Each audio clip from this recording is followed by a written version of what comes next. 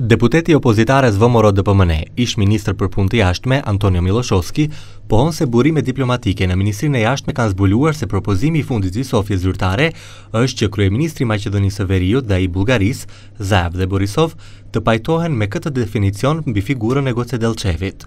Goce Dellçev është maqedonas në kuptimin rajonal të fjalës, ndërsa në kuptimin e përkatësisë kombëtare etnike, Goce Dellçev është bullgar i lindur në hapësirën e Maqedonisë gjeografike.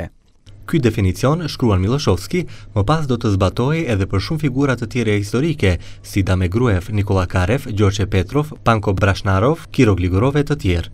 Këto fjalë të deputetit i hodhi poshtë qeveria, përmes një reagimi i quajtën si të pavërteta dhe shpekulime.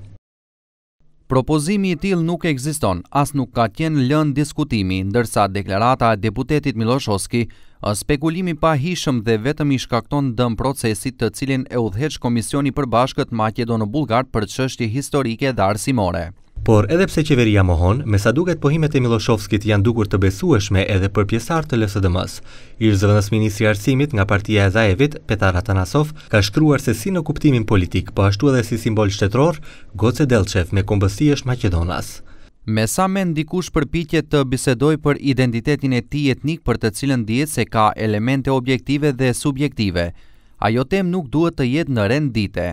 Kishte reagim edhe nga partia e kryeministrit, LSDM-ja, nga ku shkruajnë se gënjeshtrat e Milloshovskit janë sabotim klasik dhe përpjekje për dobësim të pozicioneve nacionale.